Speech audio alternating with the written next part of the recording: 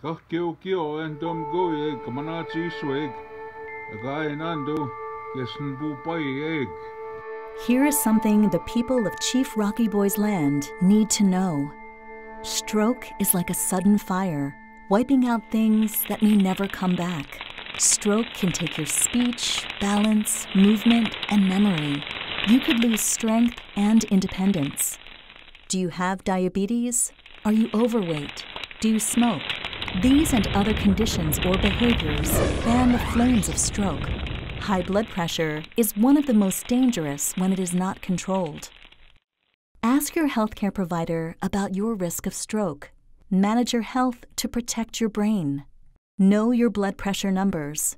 Exercise often. Eat plenty of fruit and vegetables each day. Quit smoking and limit salt and alcohol.